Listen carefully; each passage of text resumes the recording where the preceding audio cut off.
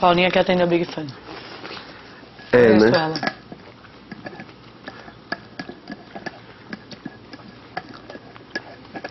É porque ela tá sentindo alguma coisa. Ela já falou que vai paredão, tá esperando a família já e O tudo. que, que eu falei com você?